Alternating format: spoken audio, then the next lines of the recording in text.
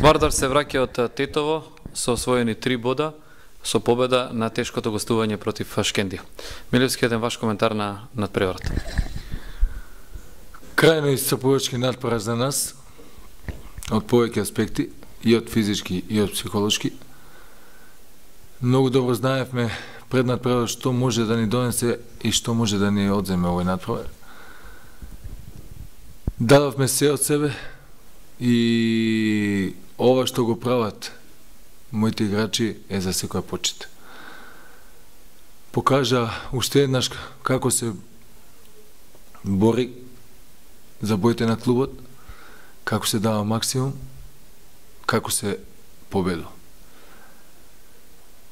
Честитки до екипата на Шкендија за прикажаната игра. Честитки уште еднаш до моите играчи и за сите тие шпекулации што беа присутни во фудбалските кулуари, апласирани од нефудбалски личности, паѓаат во вода.